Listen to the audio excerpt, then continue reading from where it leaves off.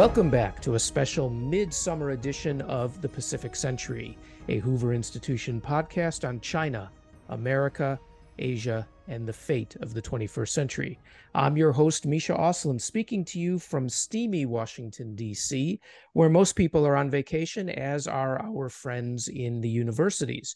But that doesn't mean that the world has taken a break, let alone Asia. And in fact, if anything, this has been a busier summer than usual. And I am very happy today to be joined by one of the busiest people in Asia who has been recording and interpreting what's been going on, and that is Kathrin Hille the Financial Times Greater China correspondent who is currently based in Taipei.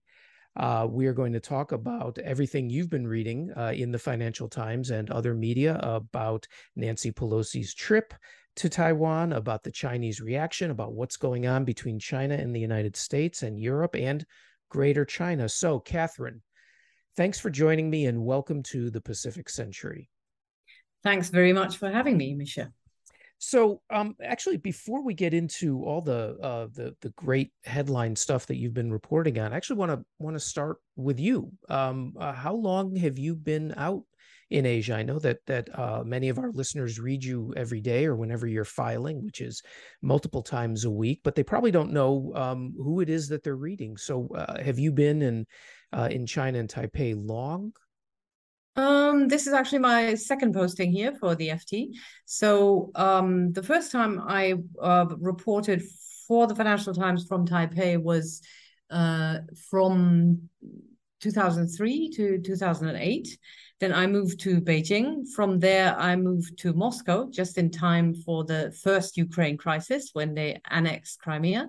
I spent five years there as the Moscow bureau chief, and I have been back in Taipei since 2018 so really crisis follows you is what we're saying. You, well, I, I wouldn't hope so. I, I I really hope that it stops here. you may be the cause exactly. Every every other country is saying, "Don't send Kathrin here. Something bad's going to happen." But that's great. You've actually been so you've been following um, uh, a lot of. In fact, you know you've been in in the key places that have dominated uh, Washington debate uh, over geopolitics and the the change in the international system for the past decade, uh, which is uh, Russia and and China, and now you've you've been you know at really what people call uh, the the epicenter. I think the Economist this week has the cover of Target Taiwan, which you know for those of us who've been doing Asia for so long, these are exactly the type of um, uh, how would you put it? You don't want to. It's not warmongering and it's not hysterics, but it is a a level of intensified concern that, that people often downplayed that that we said look things really aren't going to get that bad uh, those who claim that things are oh like the end of the asian century uh, you know are overstating things but uh, here we are where um, the common wisdom is that the us and china are on a collision course uh, over taiwan. So why don't we start um, with what you've been reporting on uh, lately, which is, of course, the reaction to Nancy Pelosi's trip, as well as uh, the trip that Senator Ed Markey took this week. You had a piece this morning uh, in the paper talking about another set of military responses. Um, a simple question Is it really different now? Or are we all just hyperventilating over nothing? It is really different now. Uh, but um, from my perspective here on the ground, it may be uh, different now for, for slightly uh, reasons that are slightly, slightly different uh, from those that may be reflected in, in, in some of the reports or some of the commentary we see uh, every day. So um, what I uh, observe is that um, I still believe that that talk of war and a full blown um, Chinese invention of Taiwan uh, may be um, an exaggeration, at least from where we are now.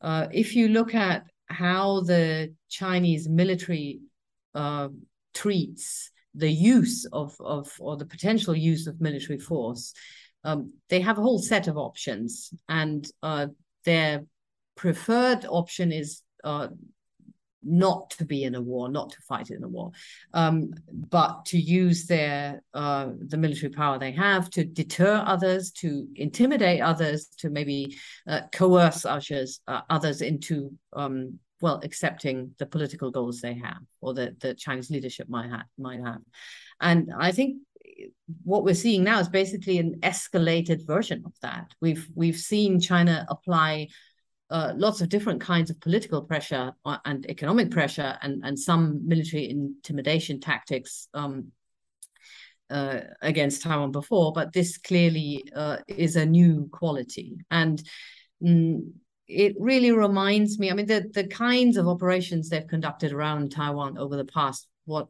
what has it been? Uh, 10 days two weeks.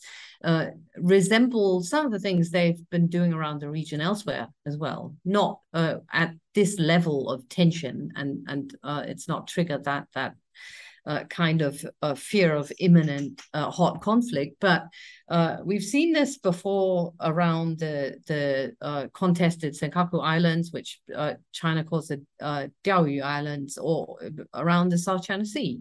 China using um, the threat of military force and some limited um, military tactics to try and uh, change the status quo, to uh, increase their role in a conflict situation and, and to um, underpin political claims they might have.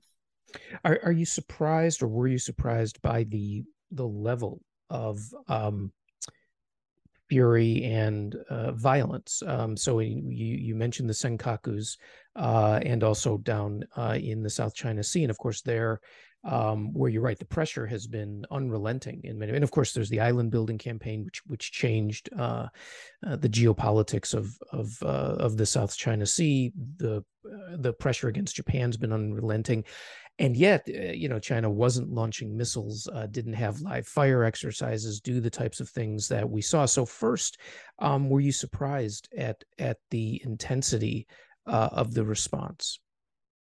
Well, I wasn't surprised when it happened because we we have been hearing uh, enough warnings, especially from the U.S. military, uh, ahead of time. Um, so uh, we were all bracing for some pretty bad stuff. Um, and then uh, afterwards, or since the live fire exercises uh, ended, uh, there has also been a lot of analysis saying it's good that there's still some things they haven't done. If you look at the PLA's um, uh, internal writings or the, the, the textbooks they have um, about what a deterrence campaign and, and, this is what this is or what a deterrence campaign looks like uh, um, it it has uh, other instruments in, in their arsenal as well. They they could have theoretically, according to their own um, strategy or plans or options, they could have uh, launched some or what they see as warning strikes against territory. So they there could have been actually some. Um, uh, some some strikes on maybe uh, outlying islands or even uh, Taiwan proper as well. These would have been maybe the small islands like Matsu and Kinmen and well, those are the populated ones. Then you also have options like Pratas, which is uh, one of the, the islands in the South China Sea, uh, where you only have Coast Guard and military. That that would have been a, a bit less um, uh, escalatory. But uh,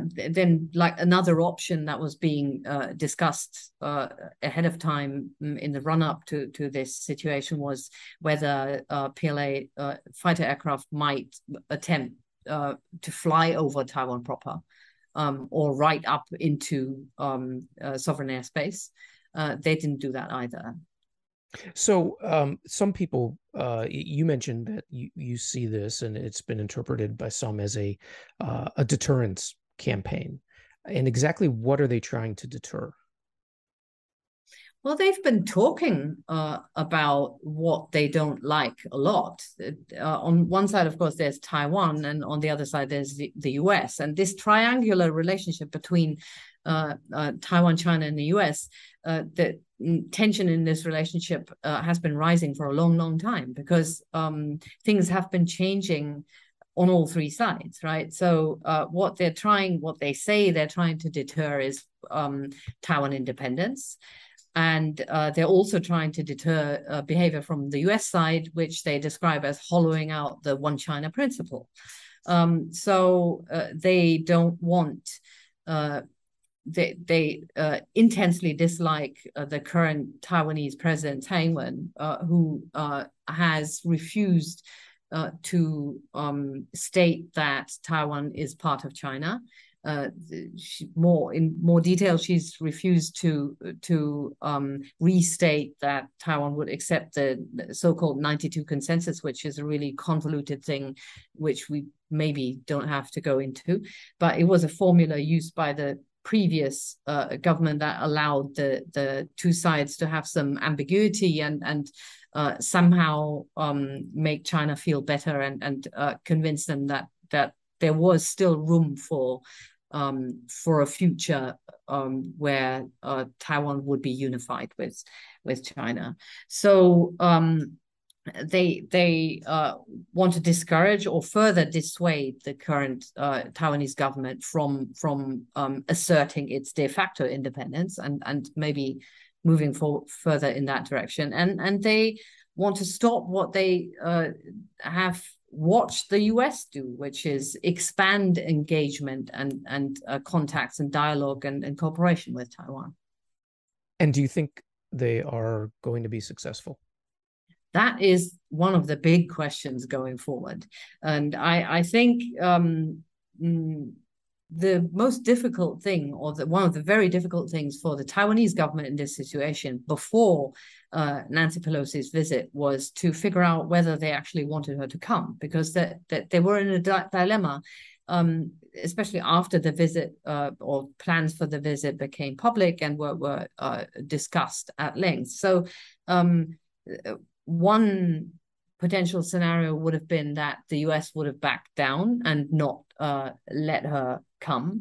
Uh, that would have created a precedent um, under which China successfully coerced uh, the US or a third country, um, mm, in in any case, into uh, um, acquiescing to to isolating Taiwan. But uh, the alternative was risking uh, what we have now, uh, uh heightened military tension. So um, uh, Taiwan was in a very uh, very difficult position ahead of time. But um, they, they I, I, think on balance, the the Taiwanese government thought that it was um, vital. for Taiwan security in the longer term, that they um, uh, that they uh, continue to have uh, friends and partners abroad uh, stand with them and engage with them to uh, not have this kind of status quo of, of an independent or uh, de facto independent Taiwan hollow out. So others have also interpreted what's happened over the past two weeks as essentially Taiwan, as essentially China blockading Taiwan that you know they have um, made the airspace dangerous for for civilian flights to go into. Certainly, when they were firing off uh, missiles, some of which landed in Japan's EEZ, uh, that they were flooding the waters around Taiwan. So not only were they showing that they could do it, some interpreted as that they were sort of actually doing it. Do you do you what do, what do you make of that interpretation? Yeah, I would disagree with that because um, if if you look at what uh, a, a, real full military blockade actually means is is you have to uh, uh, mm, disrupt, if not fully stop, uh, external links and traffic, sea and air. And none of that happened. I mean, the only flights that were canceled, I think there, there were a few Korean airlines uh, canceled some flights for a couple of days uh, during the live fire exercises. Uh, other flights were diverted around the closure zones um, but they they all continued. Uh, and uh, I think mm, sea cargo traffic was not disrupted at all. Of course, uh, the, the fear was that if uh, this situation continued and if uh, there or maybe if if China had announced like uh, another and another and another of those live fire exercises with closure zones um, it would certainly have um, uh, caused deep worries about the possibility of a full blockade, uh, and it would have um, had an economic effect because then, uh, for, especially in, in sea traffic, you you would have seen uh, costs go up, fuel costs go up if you if you have to kind of uh, go around those zones, and and insurance costs go up because there the, the risks increase. But um, a full blockade requires actually more than just uh, just announcing six zones around the island with big um, sea and air spaces between them, and um, we're not there yet. Uh, I, it's um, I think it's a fair point to say this was a rehearsal, and uh, the PLA has been very good, not just uh, uh in this recent period, but over for years now, um, extracting multiple benefits from its military operations around Taiwan because they've they've been flying around Taiwan's air defense ident identification zone on a very regular basis for a long time now, and um, this uh, meets several targets at once for them because they they can practice. They've been uh, flying. Uh, multiple uh, kinds of aircraft uh, through those um, areas. They've practiced different kinds of operations. At the same time, obviously, it's a great kind of uh, gray zone warfare because you intimidate your adversary. You also impose a cost on them because Taiwan has to scramble those uh, fighters all the time to to make sure that um, they have enough warning time and they they uh, uh, basically call them to to turn around and and leave.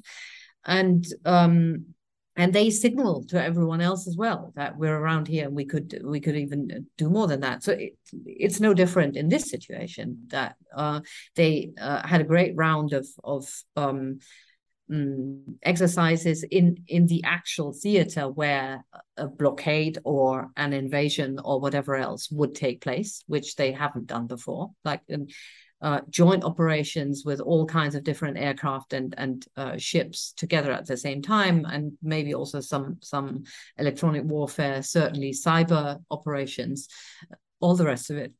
So um, uh, they they did practice, but they also, of course, achieved the um, or at least some effect in psychological warfare and uh, deterrence.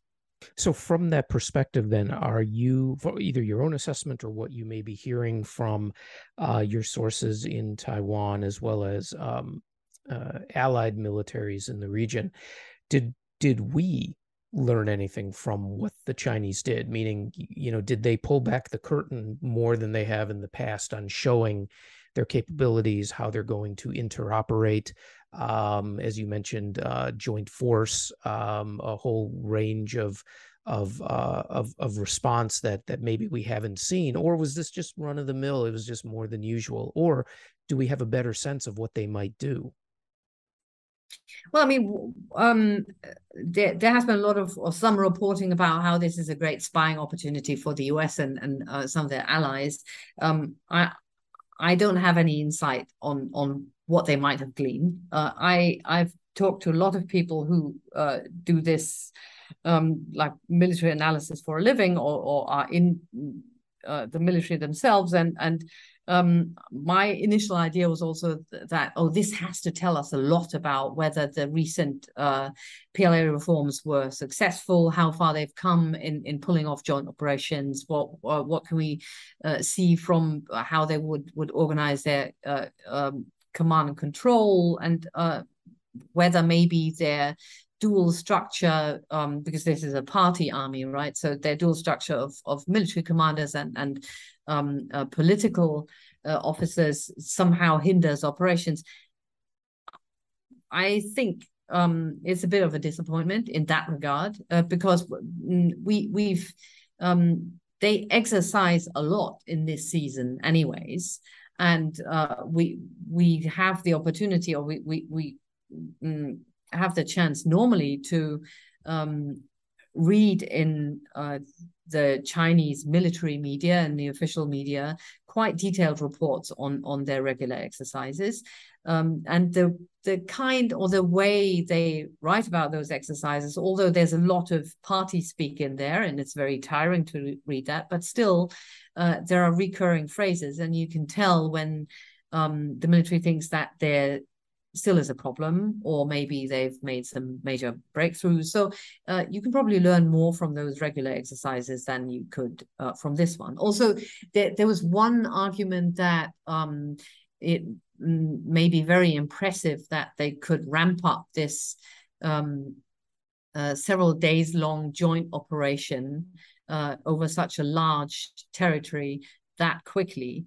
But I would caution that um, maybe they didn't ramp it up that quickly after all, because they, they've actually known that this uh, visit, Pelosi's visit, would take place. They've known it for quite a while. At least um, they knew uh, first the first time I think those um, plans for the visit became public was in April. So uh, if you will, they they got strategic warning several uh, several months ahead, so they would have maybe made plans for that. And we we've heard from both the U.S. government, also the Taiwanese government, that they uh, believe that this was not a um, furious uh, response or, or reaction um, off the cuff uh, to this visit, but rather uh, that China may have taken the visit as a pretext to pull something off they they might have planned anyway but didn't re- really have the opportunity for so uh, i've i've had people uh, um, explain to me here in taiwan that they think uh, the the Chinese would, would probably really like to um, test some of those missiles in exactly the way they did, um, traversing the skies over Taiwan. Uh, but in normal times, that would have been clearly uh, deemed unacceptable elsewhere. And, and that I mean, there's a reason that this has been compared to North Korea because only North Korea would do such a thing previously, but now uh, China's joined the club. So, um, but uh, the reaction uh, to that um, part of the exercise was actually a lot milder than the international reaction to the North Korean missile test in 2017 that did the same thing over Japan. Uh, so in in that sense, the the Chinese calculus, if it if it was that, um, might actually have worked out. So this morning you reported on a, a, new set of exercises. Again, not the live fire exercises um, in, China. Uh, I think actually uh, announced an intermediate or or a set in between after Pelosi and the new one. I mean, so the the the point is that it seems to be becoming more regularized, and some are calling this the new normal. That there will be constant activities, constant exercising. Uh, you, you, mentioned uh, China exercises a lot this time of year, but are we in a, a new normal? And what does that what does that even mean? Yeah, we certainly are. I'm. Uh, I, I, think so. So um, the first phase of what we saw after Pelosi's visit was um, four days, well, four calendar days of um, what had been announced as exercises, and and um, those four calendar days was the duration of the closure of those um, pieces of airspace and and waters, and you do that um, it, to warn ships and planes uh, out of those areas because you're going to uh, conduct live fire exercises. But as far as we know, uh, live fire exercises of artillery and missiles were only actually conducted on on day one or day two. I don't recall exactly. So. Um, the expectation uh, was psychologically in Taiwan and elsewhere that after day four this would be over, and then maybe the big question was, um, will they announce another set after that, or or what will happen? But then um, after the closure zones uh, expired, the PLA said, "Surprise, surprise, we're still exercising." So they then they they just they didn't fire missiles, but they they continued to uh, uh, fly uh, fighter aircraft and and sail ships and so on. So and and they had all these announcements uh, two or three times a day with video and and um, uh, photos out of the Eastern Theater Command uh, allegedly showing what their forces were doing that day and also describing like what the uh, what the task was that day so saying uh, uh, today we're we're um, practicing the assault on Taiwan proper or the um, and, and today we're doing anti-submarine warfare whatever um, so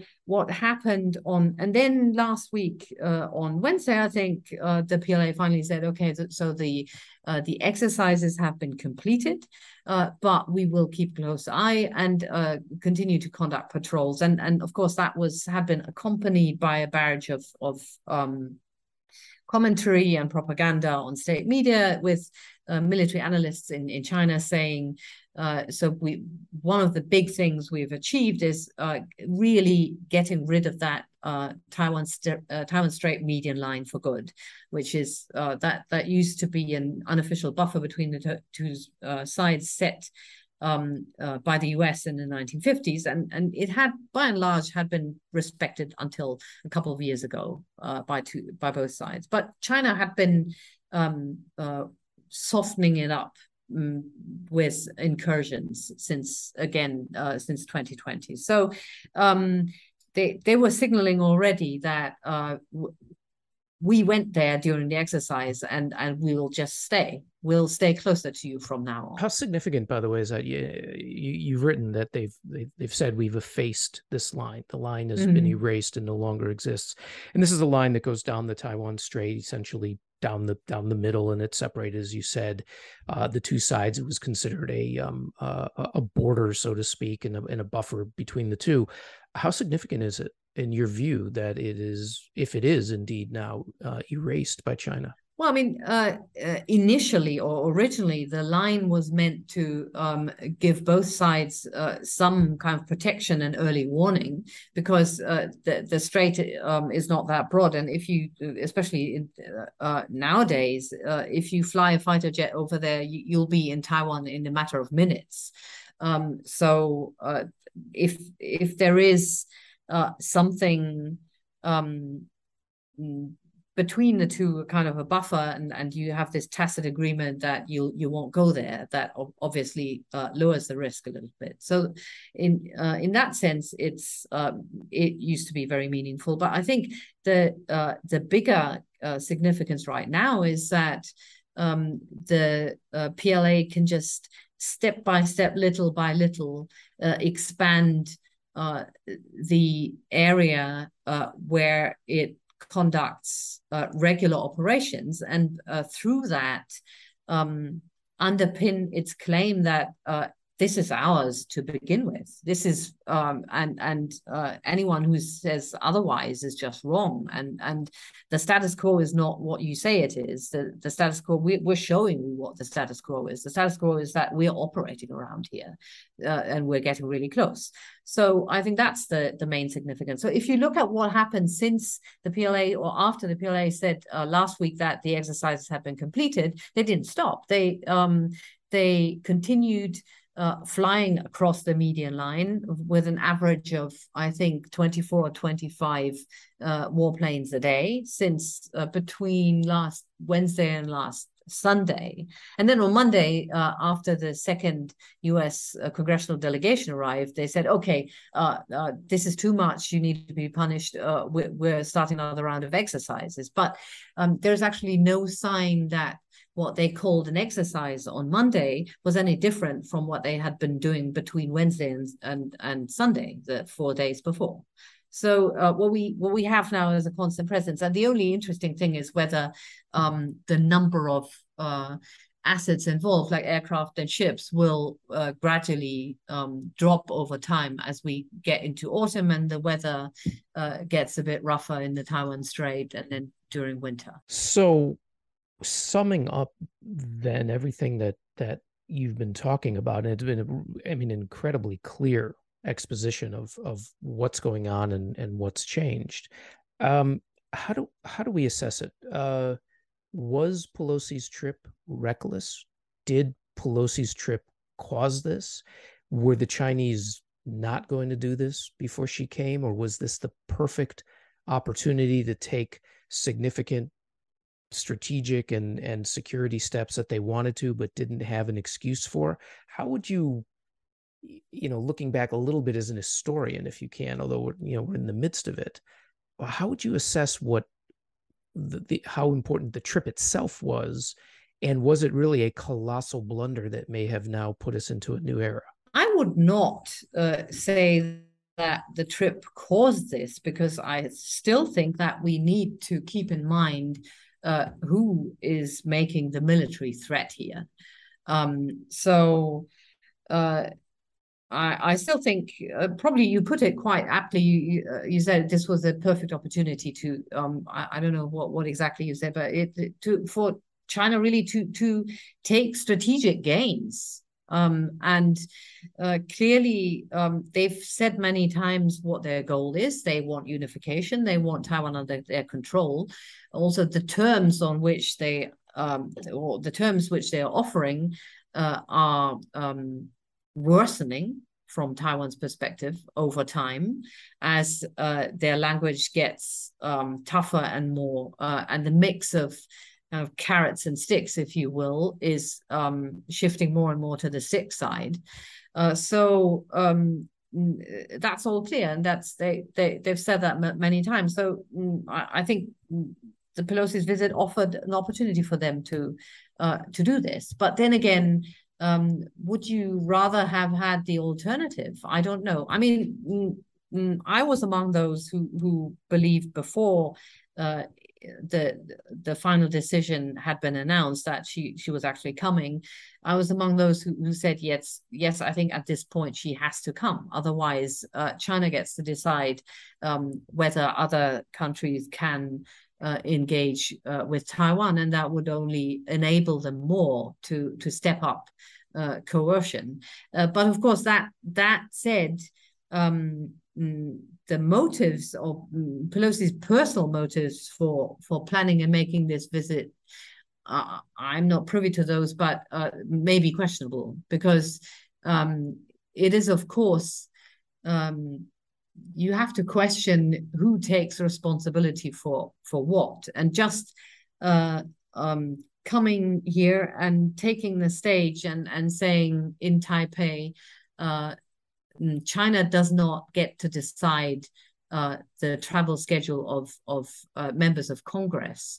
Well, that's um, uh, she's right, of course, but but uh, the ones paying the price are others, right? So, um, as I said, I'm not privy to her uh, considerations. I, I, was also not privy to the uh, discussions Taiwanese officials or diplomats may or may not have had with her team and and if there maybe were some um, notes of caution uh, uh, expressed from the Taiwanese side at some point, but um, I, I, think it, at the end of the day, the aggressor is not the U.S. and is not Taiwan. is it's uh, it's China.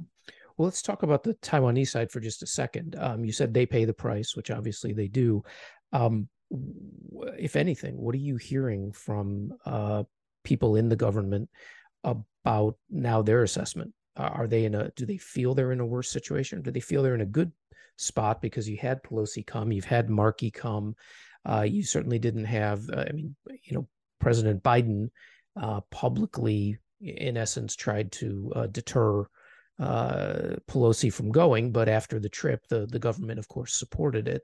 Um, so, what are you hearing from the Taiwanese themselves? Do they are, are they more worried or are they more confident? I don't think they're more confident. I mean, if you look at uh, uh, President Tsai Ing-wen, I think her central concept or one, one of the the key goals or um, or lenses through which she views this whole Taiwan's whole security situation is um, uh, keeping what Taiwan has, preserving really what um, and and safeguarding what they have. Their the democracy their way of life their security their uh, sheer survival. Uh, so uh, and uh, let's not forget that uh, Tsai Ing-wen has been at this for quite a while. She uh, already she, she, was among um, those scholars who who gave some input um, to the uh, government of Lee Teng-hui in the 1990s and um, on um, how to strengthen the basis for for the sovereignty of the Republic of China on on on Taiwan. Because uh, this followed the um, uh, this episode where Bill Clinton um, uh, expressed the or, or, pledged the three no's to uh, not not supporting Taiwan independence, not um, uh, supporting uh, Taiwan participation in the UN, and I I forget that the third escapes me now. But basically, um, assurances to China that weakened Taiwan's um, uh, chances to participate in the international community. And, and the Taiwanese at the time felt that they had to push back against this uh, just to uh, not to make progress towards independence, but just to basically preserve uh, what the level of of uh, uh, independence and and participation internationally they had. And I think uh, Tsai has been at that ever since and and this is the mainstay of what they're trying to do and in in that context you can maybe um, understand that how important uh, international visitors are for them. And let's also not forget that uh, uh, members of Congress visiting Taiwan uh, has been absolutely common for many years. It's not, it's not something new. Um, so the only uh, point here, I think, for them was really pushing back against this being eroded and and um, preserving this kind of contact with the outside world. Yeah, the um, the Clinton three no's. Um, you mentioned the first is um, we don't support independence for Taiwan. That's Clinton's words, or supporting one Taiwan, one China. All right. As as you know, as a formulation, and then of course, as you said, uh, shouldn't be a member of any organization for which statehood is a requirement. So as you said, that really cuts it out from uh, cuts it out from much of international uh, the international community. Um, so let's jump across the strait then and and just talk a bit about China. Um, how how do you see it, and and and what are you hearing, if anything, about how China? Uh, you know, when we say China, of course, we're talking about Xi Jinping. We're talking about um, the, the the central leadership sees this. Are, are they are they more confident, or are they are they frustrated because they couldn't deter either Pelosi or Markey from coming?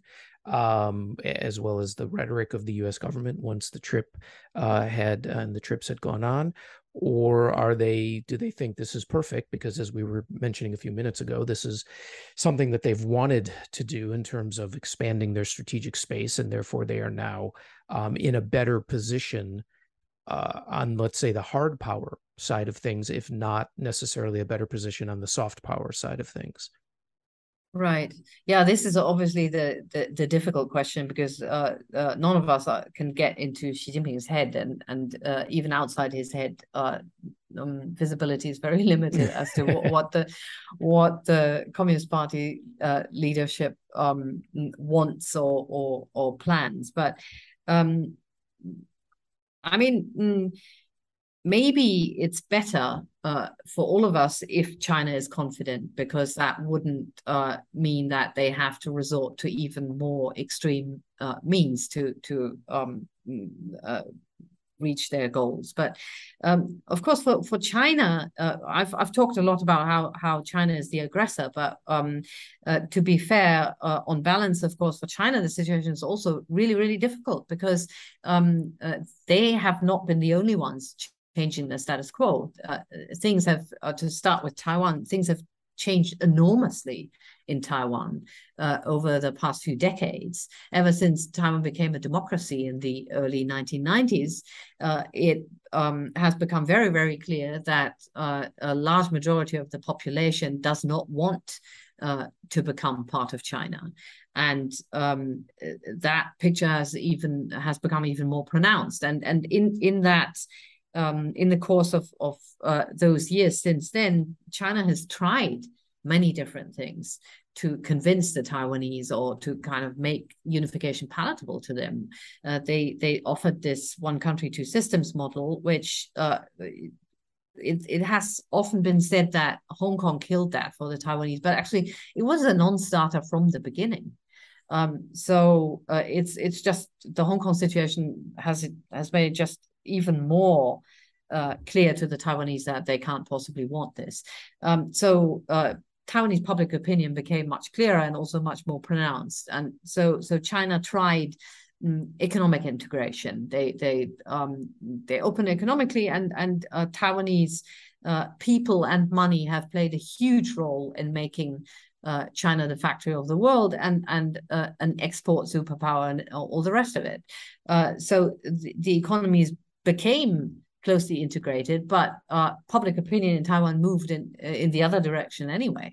Uh, and so that didn't work. And and um, China tried many other things as well. And a mixture of uh, trying to address individual uh, groups of the population in Taiwan, and then maybe trying to engage the opposition party and trying to foster like anti-government groups in Taiwan, trying uh, social disruption, and none of it has been really successful. So, it, it, of course, everyone in Taiwan dreads the day when the when the uh, Chinese Communist Party finally comes to the conclusion, okay, peaceful doesn't work, uh, let's try war. But um, even that is, of course, not not really an accurate description because there is a very broad range of uh, things that the Chinese Communist Party can do between peace and war. And I think that's where we are now.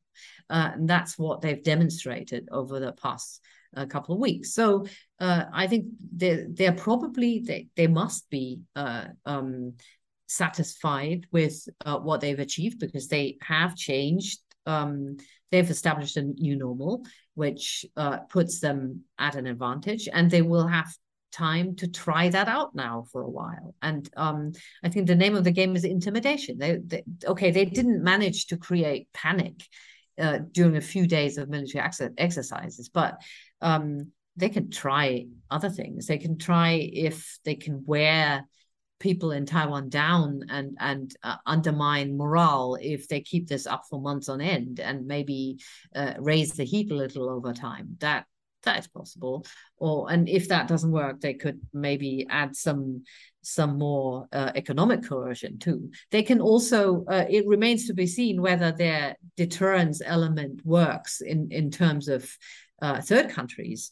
So um, the us didn't uh, uh, back down, and and uh, they actually conducted this second congressional delegation that was obviously planned earlier um, they they didn't shy away from that. But uh, what about other countries? What about uh, more Japanese parliamentarians visiting in the months ahead? What about Europeans? I, there, there's a number of of European uh, lawmakers visits planned, and we don't know if those will go ahead. So um, we'll probably only know in in a few months' time. And what about the argument that um, the visit, Pelosi's visit, was particularly um, uh, provocative because the 20, 20th Party Congress is coming up this fall. Uh, it's Xi Jinping's supposed moment to secure a third term uh, as party head and, of course, leading the country. Um, and so uh, this was seen as a direct affront in a way to him uh, and his control over you know China's uh, greater destiny. Is that did that? Do you think that played into any of it at all, or um, given how things have played out, uh, does this, if he needed to be, does this strengthen him going into the party congress? Does it weaken him, or is it a wash? I don't think it weakens him now.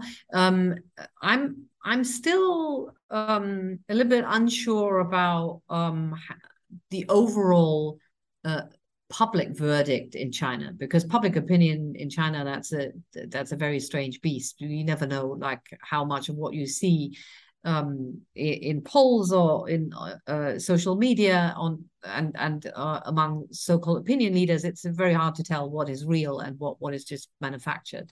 But um, there was certainly uh, a um, a wave of uh, expressions of of uh, discontent, disappointment, even anger uh, when it turned out that uh, the the Chinese military was not going to shoot down Pelosi's plane because that was one of the uh, scenarios that had been discussed by by some nationalist commentators ahead of time.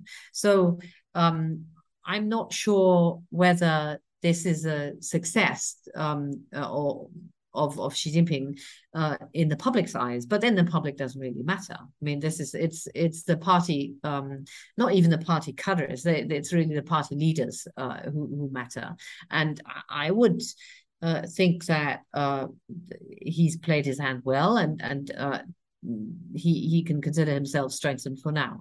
So I know it's late there, and you and you've told me you've already had almost a twenty-hour day or something crazy like that because of the the the time differences and taking up all the slack. So let me ask you a final question. On the assumption that we don't have war, that Taiwan doesn't get invaded, doesn't get obliterated, and that one great way to support Taiwan is to increase the number of Americans and others visiting Taiwan.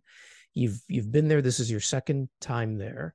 What are the three things that a visitor to Taiwan absolutely must do or see? And in the spirit of my old friend John Yoo, who always used to ask this question, tell us your favorite restaurant in Taipei or anywhere in Taiwan as well. So, what do people need to see and do in Taiwan, and where do they need to eat? Wow. Okay. So, um, eating, um, I mean, night markets are not really that um, uh, that um, fashionable anymore, but I still like them, and and I I particularly like uh, one food stall uh, on the night market in Keelung in the northern port city uh, that um, sells oh god how do you uh, how do you translate that into english? It's a kind of a um, noodles made out of a sort of beans. So it's glass glass noodle with mm-hmm. lots of uh, bits of seafood and soup in it.